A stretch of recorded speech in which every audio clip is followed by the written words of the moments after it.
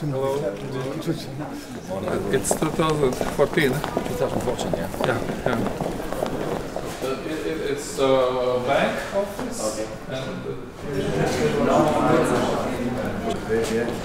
Yeah. it's, it's, And it was recognized, I can see, in 2001 yes, yeah, as exactly. cultural. Uh, it goes back to Mat, Mat uh, Skåne uh, uh, fights uh, between Sweden and Den- So Denmark. it's uh, Christian the Seventh, or it must be, yeah. Yeah, yeah. Um, Jūsu ekscelence, Dānijas premjerministra, godātie klātesošie, uh, man ir patiesa prieks uh, uzsākot uh, Latvijas valsts simtgadus gadu uh, sveicināt jūs šeit, mūsu gaismas pilī, Latvijas Nacionālajā uh, bibliotēkā. Mēs šeit esam pulcējušies, lai pi- pievienotu Dānijas dāvinājumu šim simboliskajam tautas grāmatu plauktam. Un īpaši šo atbalstu mēs, protams, esam izjutuši arī uh, kultūras jomā.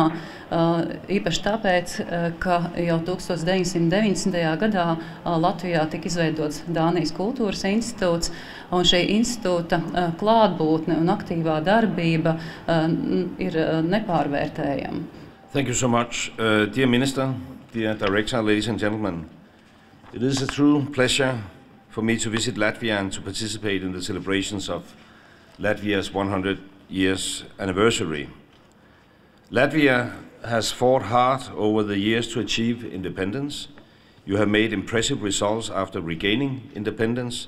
You have a lot to celebrate as a sovereign nation today. So I can't offer you a new friend. I can offer you an old friend because as small nations, Denmark and Latvia share a common interest in ensuring strong European and transatlantic organizations such as the EU and NATO. They guarantee our security, but all, only if we all contribute actively to upholding peace. Yesterday, I visited Lithuania, where four Danish F 16 fighters jets are deployed. For the next four months, they will be air policing the skies over the Baltic states. They will be closely watching any attempt to violate Latvia's sovereignty. I also visited Estonia, where 200 Danish troops will contribute to NATO's enhanced forward presence in defense of our three Baltic allies. So our relations have never been closer.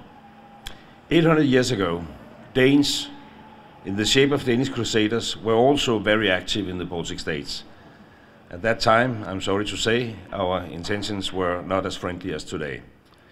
The great Danish king Valdemar met fierce resistance in Livonia, part of today's Latvia.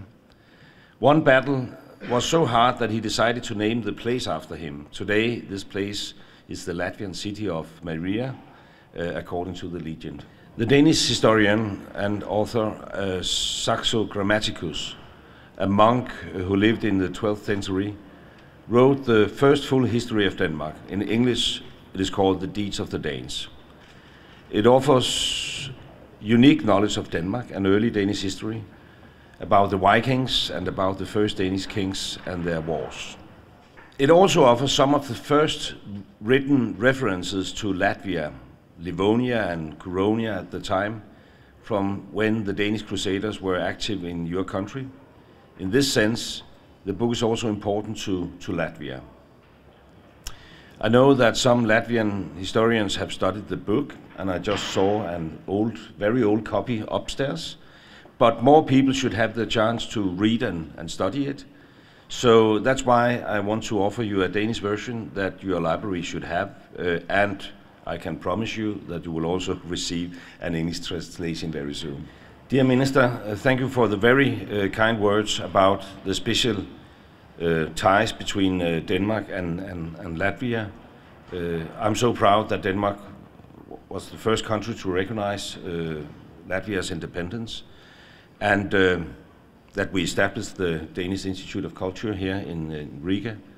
And I know that many Danish cultural activities are being planned in Latvia throughout uh, this year to celebrate the 100 years anniversary. Uh, it's a broad program from creative industries and architecture to music and activities for, for youth and, uh, youth and, and, and children. And today we launched the program, and I'm sure that all the events will contribute to an even closer relationship between Latvia and Denmark. So, uh, ladies and gentlemen, let us never forget the, the history uh, and let us create an even better future. Uh, I want to congratulate you on the 100 years um, anniversary of your independence. Thank you very much.